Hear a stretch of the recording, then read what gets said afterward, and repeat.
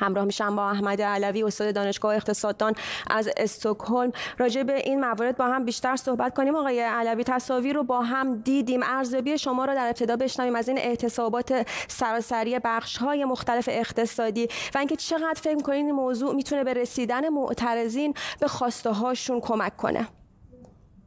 این فرایندی که ما الان شاهدش هستیم نشانه بلوغ اون خیزش مدنی و سراسریه.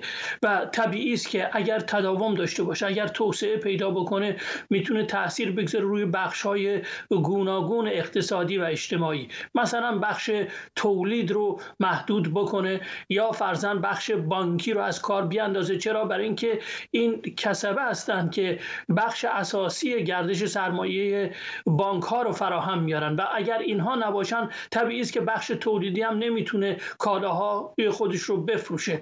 طبیعی است که حاکمیت در چنین شرایطی مجبور میشه تن بده به خواستهای معترضینی که الان دیگه در سطح خیابان تنها نیستن بلکه کسبه و بخش های مختلف توزیع فرزن خدمات یا فرزن کالاها و همچنین بخش های دیگه در کنار اونها هستن. و به نظر می‌رسه که اگر این فرایند توسعه پیدا بکنه تداوم پیدا کنه کم هزینه ترین راه است برای انتقال قدرت به مردم. چرا؟ برای اینکه حاکمیت دیر یا زود با این اعتصاب ها به هر حال اقرار می‌کنه که شکست خورده و طبیعتا میبایست قدرت رو واگذار کنه به مردم. در چنین شرایطی این سرمایه اجتماعی که با این اعتصاب ها با این خیزش مدنی ایجاد شده می‌تونه مایه‌ای باشه برای توسعه اقتصادی اجتماعی و فرهنگی ایران.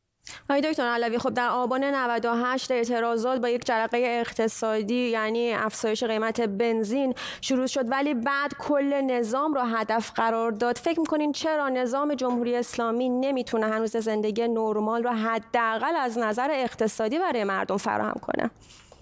نگاهی بیاندازیم به اسناد بالادستی و همچنین بودجه های سالانه. می‌بینیم که اساسا مسئله بهبود وضع اقتصادی یا فرزن اون سمتگیری به سمت توسعه پایدار هدف حاکمیت نیست. حاکمیت به هر حال تلاش می‌کنه که با انحصار و توزیع منابع در میان خودکامه نظام خودکامه. افرادی که به هر حال وابسته هستن به حاکمیت اهم از حوزویان وابسته یا فرزن نظامیان امنیتی ها دستگاه سرکوب اهم از سرکوب فیزیکی یا فرز فرزن سرکوب روانی مثل صدا و سیما.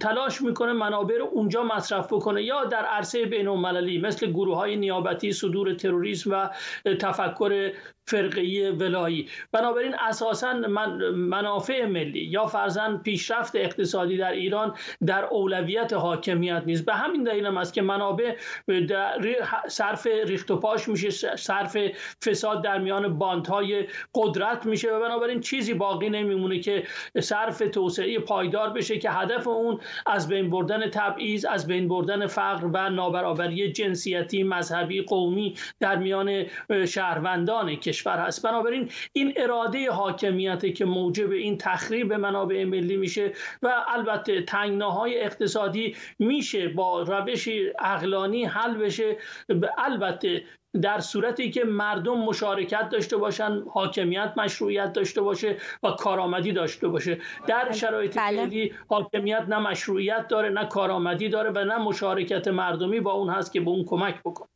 احمد علوی استاد دانشگاه اقتصاددان از استکهلم. هم که همراه من بودین در این بخش.